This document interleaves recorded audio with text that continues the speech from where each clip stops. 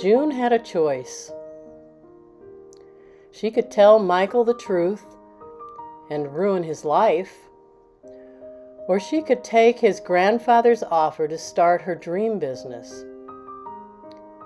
She loved Michael, so she took a second option and ghosted him.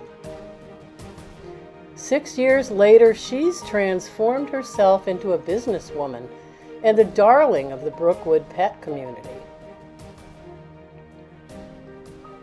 Washington attorney Michael comes home to claim his inheritance.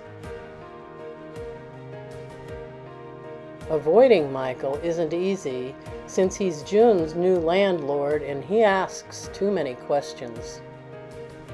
Someone wants June's business to fail. Will June finally trust Michael when her life is threatened?